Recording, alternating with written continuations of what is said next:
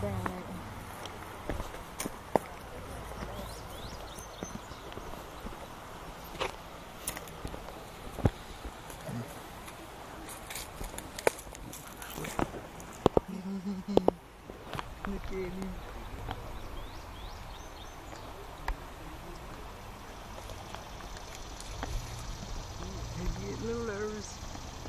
Quite cold. Yeah. We Father, Lord, as we come to you today and pray, Father, and bless. Father, we come here for no other reason but Christ in our lives.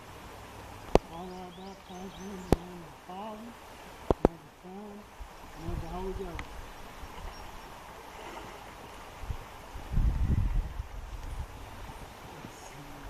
Woohoo! You go, boy. Okay,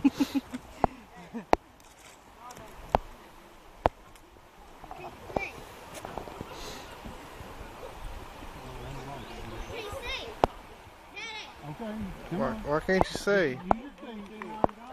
Use your feet.